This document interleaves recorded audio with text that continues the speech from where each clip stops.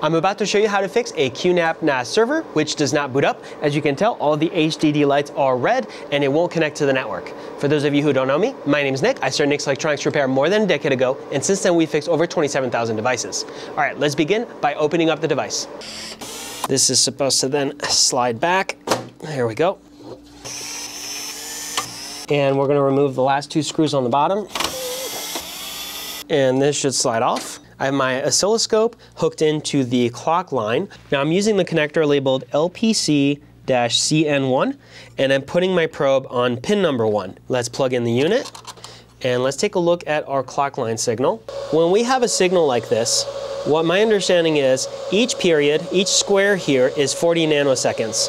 However, the system is thinking that this crest right here is the one that's supposed to be over here. So it's thinking that the cycle is only about 40 nanoseconds when in fact it should be 80. This is throwing off the clock signal for the rest of the board and why it's not able to boot up. So we want to make sure that this crest right here is much, much lower so it's not falsely identified as the actual crest. Now this fault is typically triggered by a defective CPU. So in order to resolve this, we're going to have to replace our processor. Let's do that next and then retake a measurement and see what we get. For this process, we're going to disconnect the power connector our fans. We'll move this out of the way. The fan bays now should be able to lift off in a way. We have no more connectors, so now let's go ahead and remove the screws. We'll have to peel back this little QNAP sticker.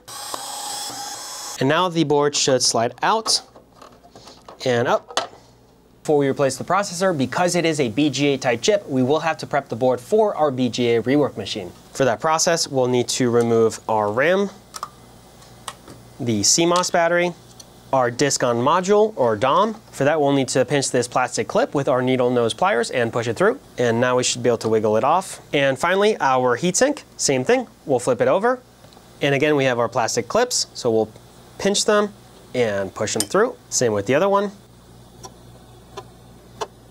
and our heatsink comes off. So in order to remove this chip, the BGA rework machine is gonna have to get to the solder's melting point. So it's gonna get really hot in the vicinity and we have capacitors and plastic that might melt or get damaged if not covered and protected. So we're gonna use aluminum tape as a heat shield to protect those parts. Now that the board is prepped, let's go ahead and remove the chip.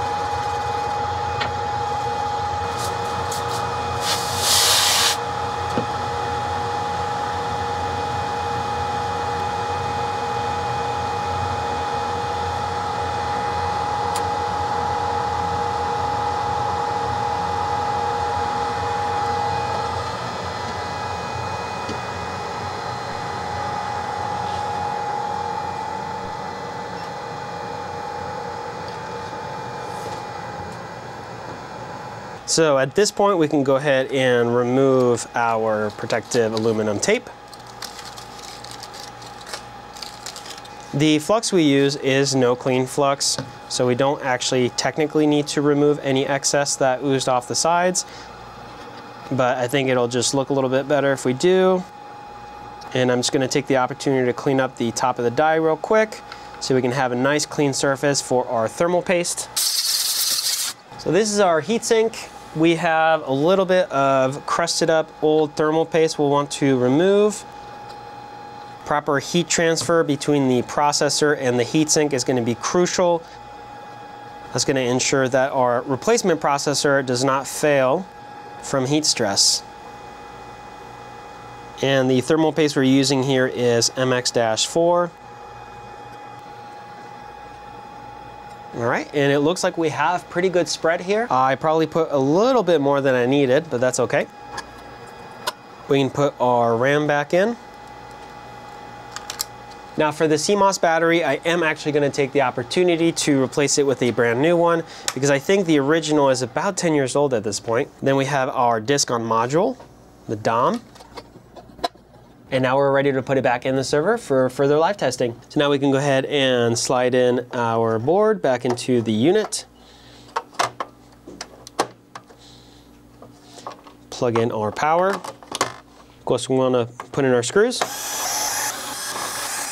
And we'll slide in our fans.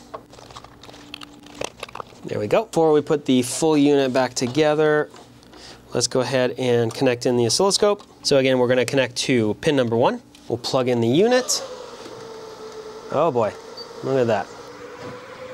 So that signal looks a lot better to me. Now we can tell that our crest to the trough is more pronounced and this little trough is not as pronounced as it was before. All right, let's disconnect it. And I just heard it beep.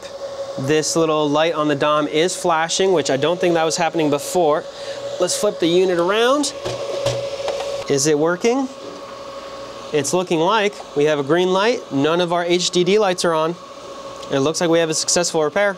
So the unit did fully boot in, the fans aren't spinning as loudly anymore, and I was able to detect it on the network. So we have another successful repair. If you have a QNAP NAS you'd like to send in for us to fix, we offer mail-in repair services. I'll have links to our website. That'll be in the description down below. If you found the video helpful or useful, leave us a like, subscribe for more content, and thank you for watching.